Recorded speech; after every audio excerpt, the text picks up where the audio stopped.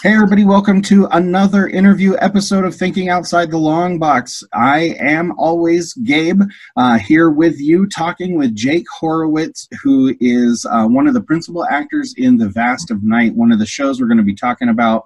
Uh, well, you probably already listened to us talk about it because we record these before. Never mind. I'm not going to think about it too much. But, uh, but Jake, welcome to the show, man. How are you today?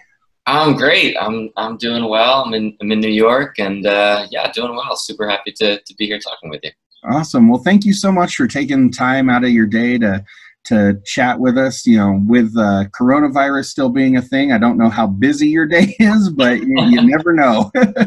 yeah, yeah. It's it, it, it comes and goes, but today looks like a a, a, a slower, lazier day. So oh, more than happy to to hang out. Yeah. So let's start with Vast of Night was uh, filmed in Texas. It was kind of created in Texas. It has like this kind of, you know, vibe of that part of the country. What was it like doing a movie, you know, outside of the typical New York or Hollywood uh, kind of acting slash movie making scene? Yeah, it was. It was so great. I mean, you you um I think the the relationships that we made with the people in the town was so special, and like everyone just really wanted to be a to be a part of it. And we would like go over to dinner at or really breakfast for us because we were filming all night. So we would you know start shooting at like 7 p.m. and stay up all night. So we'd go to people's houses for dinner, and it would basically be our breakfast. But you know, it was like that kind of feeling. Everyone just jumped on board. You know, the like the, the the police in the town just like people would be running red lights on our crew and they would just like know it was us and be like oh cool. Like it's it's those guys. So we we just had a great relationship with the town. And it was kind of magical because you know in that part of the world it it can feel a little bit older than New York certain you know what I mean? Like my my daily life is so 2020 and so quick and so fast paced. And so being able to shoot it there just also sort of like brought us into a sort of different time period. So it was pretty magical. Yeah. So as you're as you're filming like largely at night, you know, doing these big, you know, overnight shooting, is that to you know i assume that's to drive like the story and how it's taking place like over one night were there moments where you felt like it was so necessary to be in like that kind of dark you know physical space to like further the story? Yeah i think i think it was a great thing because it was one of the things that was totally born out of necessity. Like we only did it that way because there were so many exterior shots that needed to be in the dark that you couldn't like go back and forth between shooting the interiors in the day and the exteriors at night. Like you couldn't really flip it. So we just sort of had to do it all nights because it was such a, a short shoot. And it ended up creating this feeling i think of yeah being like four in the morning and sitting at a desk with the phone and you just sort of feel the the darkness and the just sort of closing in. And um I, so I, I think it had really sort of like artistic effects like you're talking about and we ended up feeling a certain way because we were doing it but it was totally born just out of we had to do it like that. You know, there's no other way. So this movie, like obviously it's a science fiction film. It revolves around effectively an alien invasion of like a little town. Yeah. But it's also very subdued for like a typical science fiction film. You know, the special effects that are at the end, they're they're you know they look great but they're not like crazy over the top. Like this is not uh-huh. your your will smith alien invasion. This is uh-huh. like something subtler and more quiet. What was it about you know this kind of contemplative look at at aliens and kind of crazy phenomenon that drew you into this role? Yeah i think i mean i think just that that like a- Andrew was saying when we when we skyped um, uh, before before I went out to shoot it, he was like, you know, the movie's kind of like if if uh, Richard Linklater directed Close Encounters, mm. and I I just really loved that. like, I just think that's a great. Um, it's like a great sandwich, you know. It's a great like bringing together of two totally different things that uh, that just struck a chord with me and this idea of like how would it how would it happen if it really happened? You you know you wouldn't it, it might not look the way we think it'll look and the feelings of sort of terror might not you know manifest in i don't know the classic like screaming shot of someone being like ah! and the light and you know like it i i think that it's a movie that just really tries to take a, a, a different look at something that we think we know so well. Um, and there's just something exciting about that. And I think that Andrew has a great sense of like going quiet when you expect it to go loud and going loud when you expect it to go quiet and sort of playing with those expectations was something that I could like feel in the script and feel in Andrew's approach that I thought was really just really smart and really interesting and I think works really well.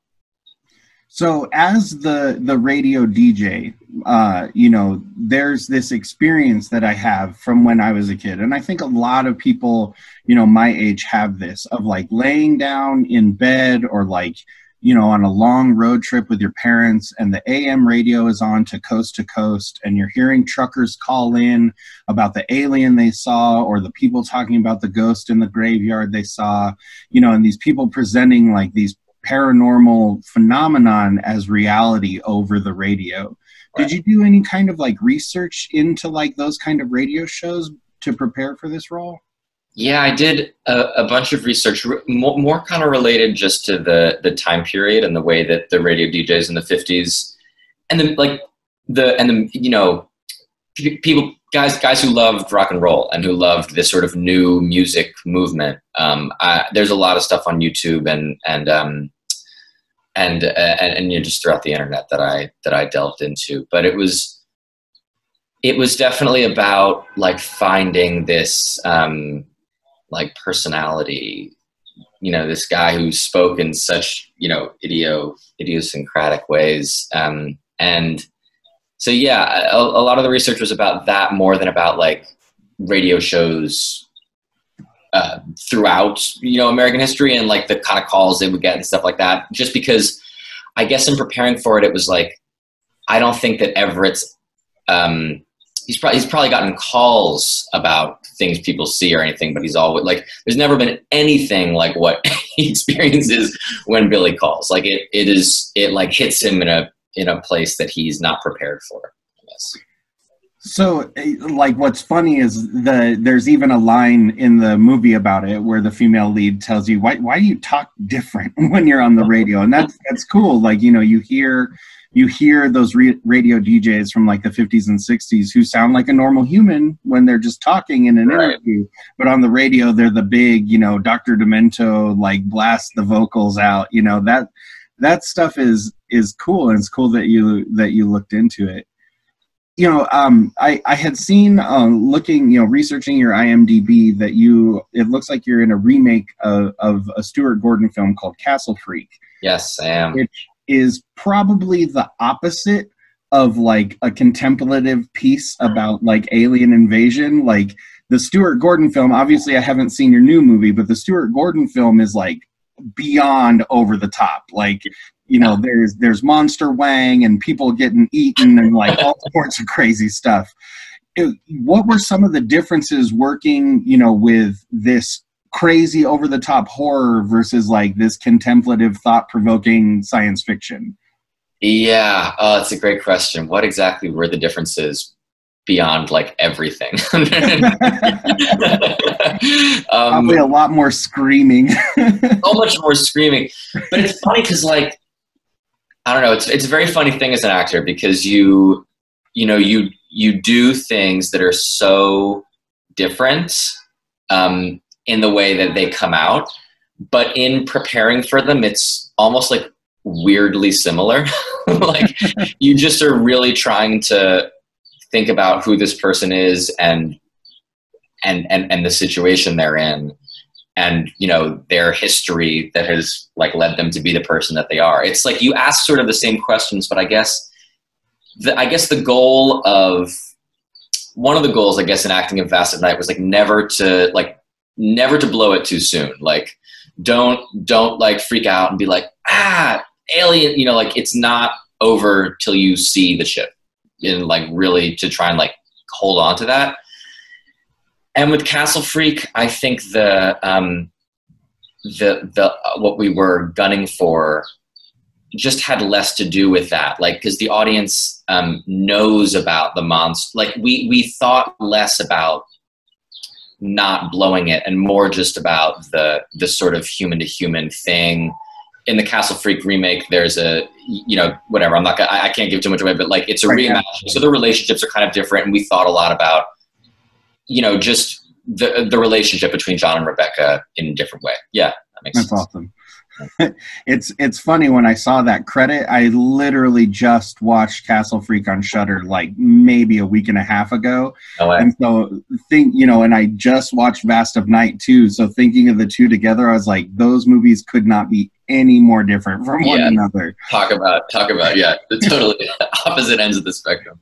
Uh, so as an actor do you like working like in genre movies? Like do you think that it provides like any kind of like special freedom to you as an actor? Or do you find that that you know it, it's easier to work with in any way?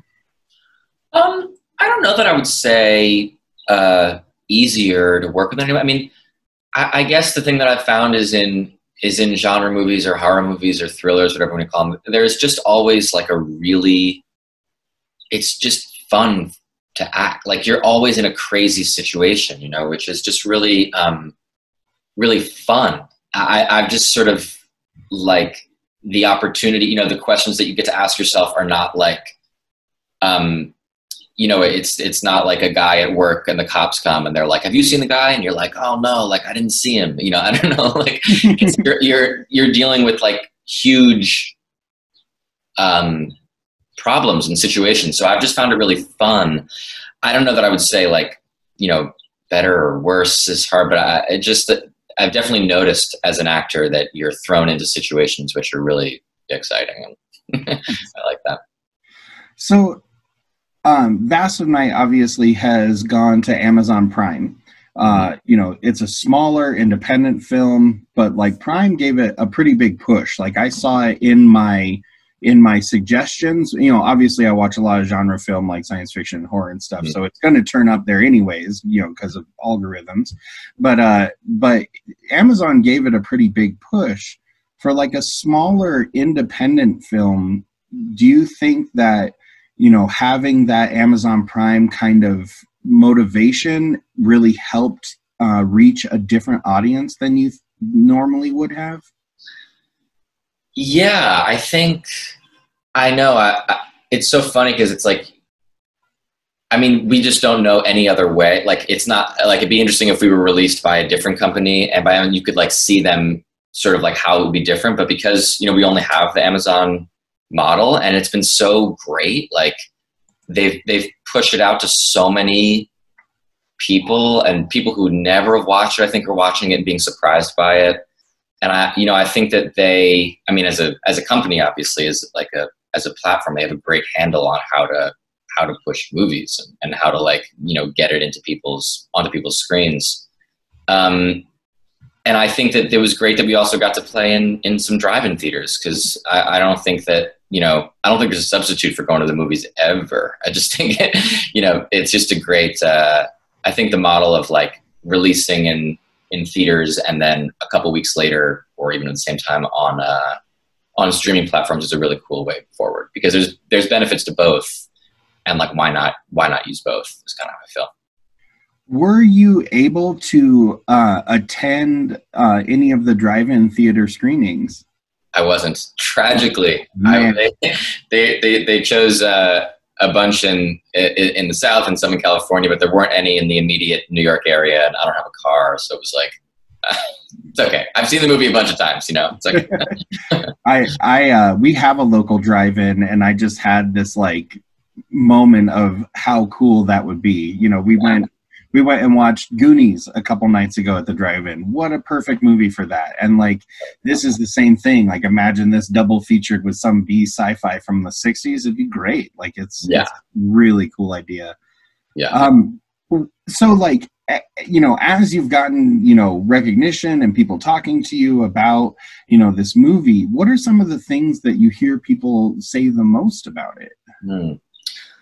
Um, I guess I, I, I love when I I love when I hear people compliment its uh, suspensefulness because I think that um, I mean I just take that as a I mean as a, you know I think I take that as a compliment to everybody but but me and Sierra really worked with Andrew a lot in rehearsing on how to keep keep suspense and not like I, I was I was kind of saying before not like blow it and and sort of um keep that story alive in us. And I, so I, I just love when I hear that. I, it's so gratifying and like relieving to hear that it's sort of working the way that we had imagined. And I love when people like the dialogue and I love when people like the sort of rhythm changes of the movie that it goes from like super fast and you can hardly understand what's happening to like these long, slow um, scenes. And I, yeah, I, I guess those are some of my favorite things. But but definitely when people respond to the dialogue, it's like you know, because that's what drew me in at first. Obviously, reading it, I was like, oh, this is written by this is genius. Like, hold on, like I need to do this now. Like, I can't wait. So I, I love when people, you know, sort of are, get on that train. It, it's interesting. I talked with Gail uh, Kronauer last night. Mm. Uh, about the movie and you know we talked a lot about language in it because she's an educator you know and because she loves Shakespeare and she loves those sorts of things. Like this really spoke to her in a lot of ways. Uh, I find it super fascinating that like this um, this movie. Hi, Hannah. this movie is so much about language and it's so much about words. And the script has managed to take exposition, which is normally really boring and really awful and frame it in such a way that you're on the edge of your seat for a black screen with a dude just talking or a scene where two people are just literally sitting and listening to an older lady give her whole story and those are long, drawn out pieces of dialogue that are intense in a way that you wouldn't expect for straight exposition. Did you enjoy working like kind of in that framework? Uh, like 150%. It was like one of my favorite qualities of the movie where that it was just like um, the the texture of the dialogue and the characters that keep the story moving is like so special and I, I, think reminiscent of like Coen brothers, Wes Anderson, these sort of you know guys who write and direct their own stuff. You know, it's like a real quality they have that everybody in the movie has a texture and feels like they're from the same world in just a really special way. And you know, as an actor, it makes those scenes like I loved doing the Mabel scene. It was like one of my favorite nights because it was so great to listen to. You know, like it, it, it takes a lot of the hard work off of your shoulders in a, in a weird way when you just sort of enjoy listening and then it's like your line and you're like excited to respond genuinely you know like and uh, so i think i had a lot of experiences like that shooting it um, yeah it's it's cool. Like it's so like i said so much of the movie is about about language and about words whether it be the alien language or the human language and the way people interact with each other. And it it's it's brilliant. Like it's great writing it's great directing and you as an actor and your other you know your fellow actors you guys did bang up jobs on it uh, like I, my uh, this this is going to be part of a recording block that's kind of about visually interesting movies. Mm-hmm. So we're talking about this one, we're talking about The Cell, and then we're talking about Blood Machines, which is an absolutely ridiculous thing on Shudder that if you haven't seen, you absolutely have to watch. I haven't seen. It's literally it's literally the opposite of your movie. Like imagine science fiction taken to like such disturbingly special effects laden levels that you can't look away. right, right. You said blood blood machines. Blood machines, yeah. I'll check it out. it's ridiculous, but but you know what I what I found the the most interesting about this is how you know the the the co-host that presented that we watched this was like it's just really a fascinating visual watch mm-hmm. and in such a different way than other movies have done and that's that's really cool did you um you know when when you're working in it did you realize like at the moment like how texturally visceral like this movie was going to be like when when it was a finished product? Yeah definitely definitely. I mean we were um, we rehearsed for a week before we shot which was really a gift and doesn't always get to happen um, especially in small independent movies. Um, and uh, so i think we were really uh, like knew what it was going to take uh, to to sort of make it make it work and give it that that like ease that I think me and Sierra found and had so much fun with was that we you know we just sort of kind of knew what we were doing. So it was it was easy between us and and and that was there. And if we were just like thrown into first day of shooting even if we were all memorized I think that like that chemistry and that understanding just wouldn't quite have been there. And you know it was like I think that rehearsal is is game changing but I I would say that we really knew like you like reading the script you I, at least at least I, I could tell what it was going to take totally. Like it was very clear this was a movie that needed uh, people to be good with language and people to hold suspense and people to be you know to like to be able to be sort of like still. Andrew talks a lot about about stillness and like sort of calm and that you know suspense and terror can like set in you don't always have to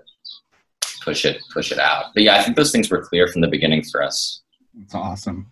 Yeah. So as we kind of get towards the end of our time, I know you have a few things that are in post production or getting ready to come out, which is awesome because there's a ton of actors that we've talked to recently. They're like, nope, got nothing. so uh, tell us a little bit about what you have coming uh, on the way.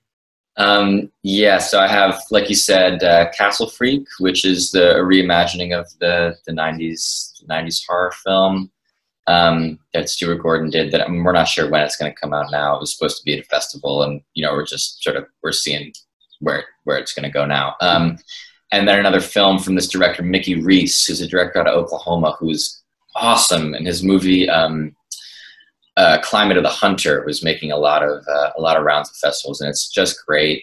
This new one is called Agnes, and it's uh, sort of a, an exorcism film that takes a, a really hard left turn uh, that I think is really exciting. And it's from uh, uh, Divide and Conquer and Quagmire, or the production companies. Yeah, you are in exactly the kind of movies I like to watch. So, so that's awesome.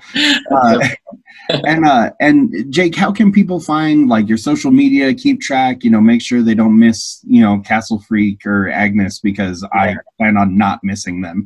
oh, right on! I, I, I can't wait for you to, to watch them. Um, uh, my Instagram is just uh, uh Jake Horowitz ninety four, and uh, I I don't I'm not a huge uh, poster. I often feel like a bit of a, a, bit of a leech. I'll like log on and I just look at other people's stuff, and I don't, I don't post that much. But but I definitely post when uh you know when when things come out. I, I want people to to know. So so yeah, follow me there and and uh, yeah, keep in touch. Awesome. Well, thank you so much for your time, Jake. I hope you have a wonderful afternoon. right on. Yeah, thanks for talking. It was really fun. Uh,